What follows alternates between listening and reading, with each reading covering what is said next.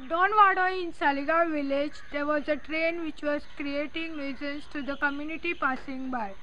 There is a train along the roadside which is causing health hazards to people who live in surrounding areas as well as the people who pass by that road.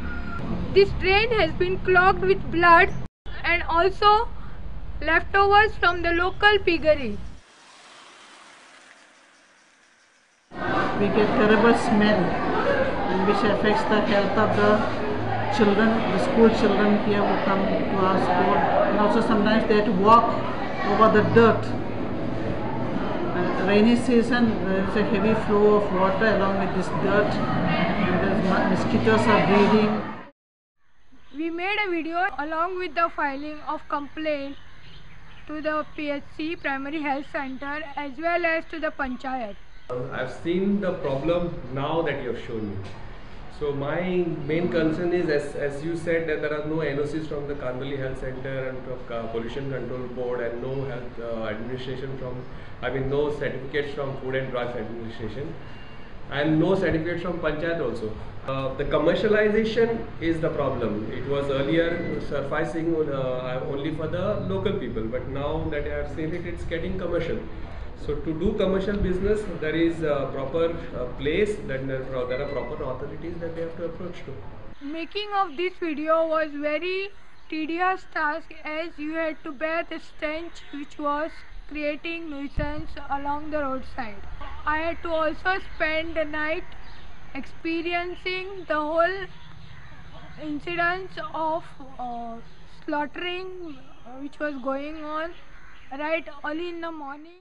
After highlighting this problem, bring it to the notice of the concerned authorities, the panchayat, this uh, health, husbandry, all these people came for inspection on the 4th of April and uh, they conducted an inspection. But before that, the party, they took all the precautions, they cleared all the garbage. In three days time, everything was cleared and uh, the blood also stopped from flowing in the drain and that was taken care of. And so when they came for inspection, everything was clean. Campaign helped a lot, and the authorities, of course, they showed concern in coming and doing the needful. So they, when they saw the videos, it was proof that yes, this thing is happening here. Yeah, so I thank video uh, volunteers for highlighting this problem. There were a lot of dirt that was collected and now we see that uh, the area is being cleaned off. It's because of the work of the NGO. Illegal activities are being exposed and that is why there is a lot of change that was taken place. The government authorities are taking in the initiative and listening to the NGO. So I appreciate uh, what the NGO has done, especially Ms. Lochana Pednekar.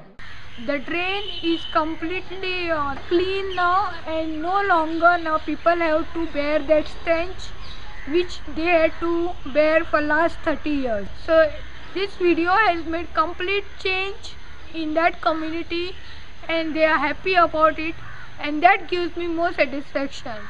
This is Sulochana Pednekar reporting from Saligaon, Goa for India Unheard.